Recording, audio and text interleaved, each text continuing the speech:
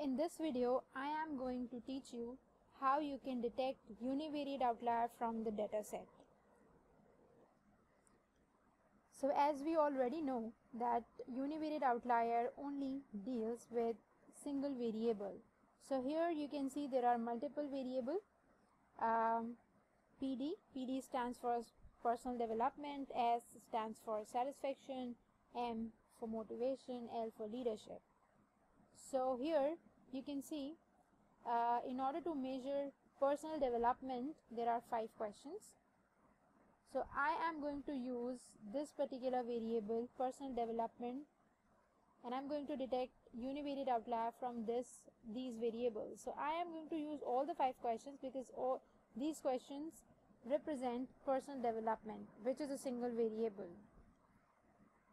So let's start the process in order to perform univariate outlier, you have to go to Analyze, Descriptive Statistics and Descriptives.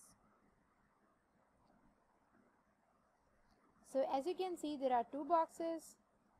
In this in the left side uh, left box you can see there are uh, there is a list of variable that we have we have created. And the other box the right side of the box is empty so I'm going to use personal development and I'm going to detect outlier from this variable. So there are five questions. So I'm going to use all the five questions. Let's select all the five questions and move it to another box.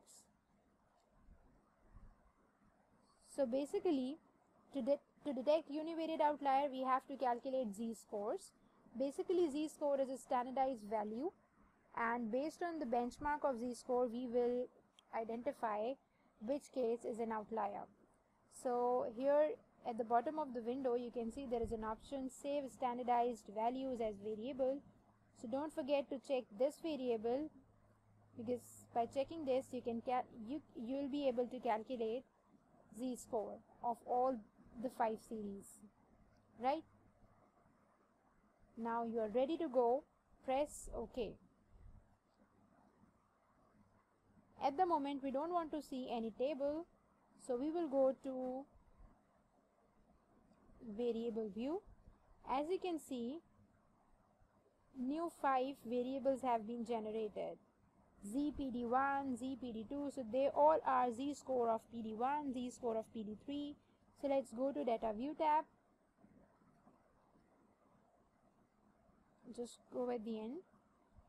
Now here you can see z-score series of each variable has been generated. Now you know the benchmark. You have to just sort the series accordingly and see whether the values are meeting the criteria. If it is meeting the criteria it means that the particular case is not the cases are not uh, they are not outliers but if it is not meeting the criteria, it means outlier does exist in the data set. So first identify and then remove. So one by one, I'm going to identify, let's say PD1. So I'm going to, first of all, I'm going to see uh, the values in uh, the negative values and then I'm going to see the positive value. So here I'm going to sort ascending. So here you can see um, I have some outliers because the threshold value is minus 3.29 but here you can see the values are greater than minus 3.29 so let's see how many values are there. 1 2 3 4 5 6 so there are six values. As you can see there are six cases which are outlier. So now you have detected the outlier. Just select all the six options all the six cases press right click just right click and clear. So now what you have done you have just identified the cases which are outliers and then removed it. Now I'm going to see the positive side. So sort ascendings there is no outlier. Let's see. Sort ascending there is no outlier in the negative side and there is no outlier in the positive side. Similarly I'll follow the same procedure and yes I can see outlier. I can see some values which are not meeting the criteria. So let's say 1 2 3 so starting three values in ZPD4 in this series are outlier. So again I follow the same procedure. I will select all the three cases which Z scores are not meeting the criteria.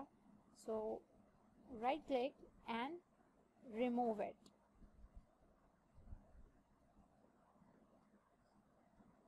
So now again I'm going to sort descending to see the positive side of the values and all the values are okay. They all are meeting the criteria. Now the last series sort ascending there is no outlier sort descending. Again there is no problem there is no outlier. So in ZPD1 and ZPD3 we detected some outlier we detected some cases as outlier and then we removed it. So this is all about uh, this is all we we do in identifying and detecting and removing univariate outlier. Thank you